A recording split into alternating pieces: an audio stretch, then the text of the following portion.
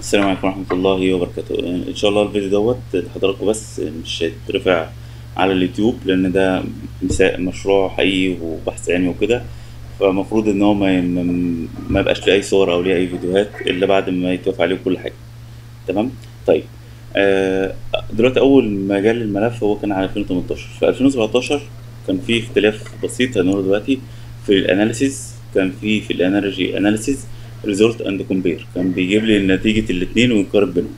تمام؟ ال- ال- الزرار دوت مش هتلاقيه موجود في Revit 2018 هتلاقي بداله يعني هما كل شوية بيعدلوا شوية Insight تمام؟ فال Insight بينقسم ل heating cooling و lighting وسرعة مش هتلاقي الزرار اللي هو بتاع compare وهو صراحة كان سهل جدا. في حاجات كتيرة كانت جميلة جدا و Autodesk لغتها زي الشغل على ال Vasari يعني يا ريت كانوا خلوا في الفريق يطور فيه ويكملوا أو يخلوه يكمل شغل. آم، ال Ecotect طيب خلاص خلينا نخش نبدأ في المشروع. طيب أول حاجة أنا محتاجها عشان أبدأ شغل أجي هنا أحدد ال location بتاعي. لأن النتيجة تختلف تماما لو أنا في مصر أو في ال- السعودية أو في أوروبا. فباجي هنا بكتب Cairo Egypt وعندي اختيارين. default city بيبدأ يجيب لي قوائم المدن. أو بقول له أنا عايز آه، ال internet mapping فبيجيب لي حاجة زي Google Earth كده أقدر أعمل- أكتب المكان اللي أنا عايزه. طيب بعد كده هنيجي نقول له آه خل...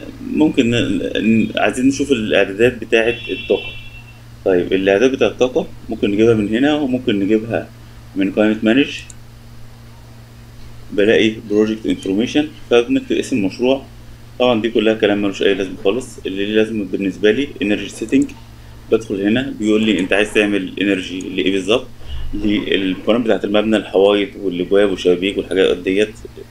ولا عايز تعمل لل mass ممكن يكون أنت لسه بتبتدي ومش راسم حاجة غير ال mass وعايز تعمل تحليل وتعمل كذا mass تقارن بينهم. أو تقول له استخدم الاثنين زي ما أنت عايز. طيب ال ground plane أني level فيهم هاز level واحد اتنين تلاتة. ممكن واحد واثنين دول basement وثلاثه هو ground فبيقول لي عايز تحسب من أنهي واحد فيهم. خلاص هحسب من basement ال project phase ممكن يكون عندي كذا phase ويكون كله شغل على phase تانية والاقي إن الشغل بتاعي ضاع فلازم أحدد أنهي phase اللي أنا اشتغل عليها. ال analytic space و surface و zone depths تبدأ تختارهم. وبعد كده هقول له edit بيقول لي ال glazing كام في المية ال skylight كام في المية ال building type اختلف طبعا. لو أنت مثلا حددته parking garage أو حددته post office الإعداد بتختلف تماما لأن هو هنا مرتبط بالإعداد بتاعت ال ASHRAE تمام؟ طيب ال HVAC system هتشتغل بأني نظام؟ ال building operation schedule أهوت. آه، بتشتغل كام يوم في الأسبوع وكام ساعة في اليوم؟ يعني هنا 24 ساعة في 7 أيام هنا في عندي يوم off في يوم off بتشتغل نص اليوم. طيب ال export category هتصدر بال room ولا بال space؟ آه ال- space بيدخل معلومات أكثر ال room بيدخل بس طول العرض والارتفاع إنما ال space بيدخل لي information أكتر خاصة بالتكييف وخاصة بالكهرباء. conceptual type أنت مثلا ال- ال- الحوائط الخارجية عبارة عن إيه؟ الحوائط الداخلية الروف الفلور السلاب الجلازنج السكاي اللايت الشيد الاوبننج أقول له okay. ال schematic type building لما تيجي هنا بتلاقي تقدر تعمل مجموعة جديدة وتقول له ان ال roof مثلا هتبقى مثلا ال BTU بتاعها هيبقى قد إيه ال U value بتاعها قد إيه وهكذا تقدر تختار القيم اللي إنت عايزها.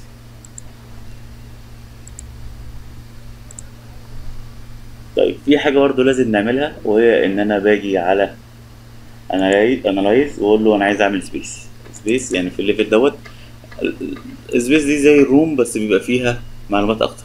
أنا عملت ال space بتاعت كل الغرف. تمام؟ طيب يعني بفرض إن هي مش موجودة أو في أي غرفة زيادة بس للتوضيح اهي مثلا زي ديت عايزين نضيف space بقول له analysis بقول له space وبروح حاطط ال space بالشكل ده.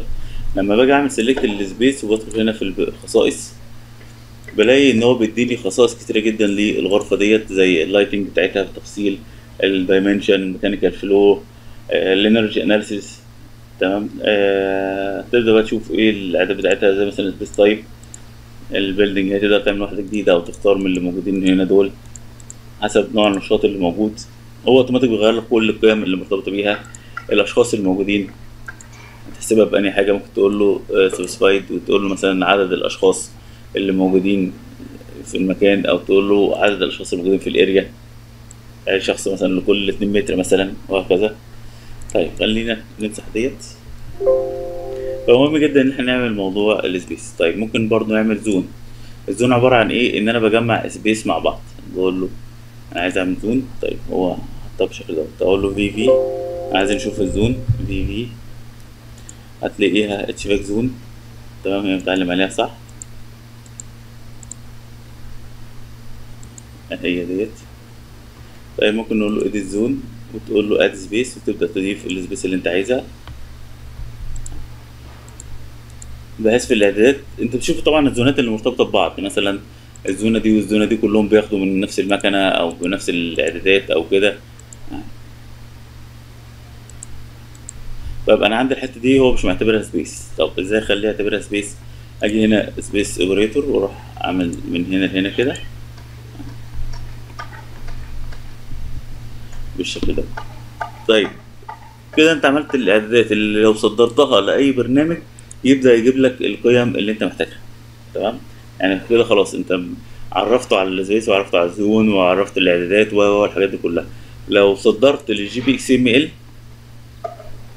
اللي هو دوت طيب هو مش ظاهر. خلينا نشوف 3D اتفعلت معايا. المفروض تتفعل في كل حاجة يعني غلطة من عندهم. لأن التصدير بيحصل للمبنى كله. لو صدرت لل gbXML أي برنامج من برامج التحليل بيبدأ يشوفها بيديني اختيارين لا إما تصدر energy setting شوف الاعداد ديت أو أنا عايز أتصدر لي القيم بتاعة ال room وال space فتشوف ديت بيصدر لك ملف أي برنامج زي DesignBuilder يقبل المعلومات دي ويشتغل بيها عادي. طيب ممكن أقول له heating and cooling load هو بقى بيبدأ يعمل الحسابات بتاعته للمشروع ككل. وال detail هنا بيبدأ يعمل للزونات وال space الموجودة. كل زونة جوه ال space بتاعها كل واحدة ممكن تتعلم عليها تبدأ تشوف الخصائص بتاعتها. طيب هتقول له calculate خلي بالك هنا بيقول نوع ال office المكان فين ال level و و هنا ال report type simple ولا standard ولا details simple يعني هيعمل لك تقرير بسيط جدا بس هو حتى تقرير بسيط فيه المعلومات اللي إحنا محتاجينها وزيادة. طيب بعد كده ممكن تستخدم في موقعين على النت بياخدوا منك المعلومات بيبقى ليهم زي add-ins على ال Revit موجودين هنا في analysis اللي هو ال Insight بيبدأ يرفع القيم ويبدأ يقارن بينهم وصراحه الأداء بتاعه عالي جدا. أو ال Green Building من برضو القيم كويسة جدا. يبدأ ياخد ويبدأ يقارن لي. لو أنا غيرت ال material في واحد فيهم للآخر النتيجة تبقى عاملة إزاي؟ تمام؟ ده من الحاجات اللي هي الظريفة أو اللي هو ال Insight وال Green Building وأنا بعت لحضراتكم الرابط بتاعه إن شاء الله.